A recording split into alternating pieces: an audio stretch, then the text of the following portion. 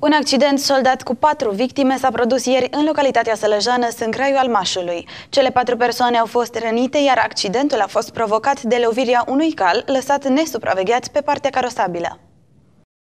Accidentul s-a produs ieri 25 august pe DN1F în localitatea Stâncraiu al Mașului. Din primele cercetări efectuate de polițiști s-a stabilit că un zălăuan de 44 de ani care conducea autoturismul pe direcția Cluj-Zalău a lovit un cal lăsat nesupravegheat pe partea carosabilă. Evenimentul s-a soldat cu rănirea ușoară a conducătorului auto și a trei pasageri din autoturism. Totodată șoferul a fost testat cu alcool testul, dar rezultatul a fost negativ. Polițiștii continuă cercetările pentru stabilirea exactă a împrejurărilor în care s-a produs accidentul.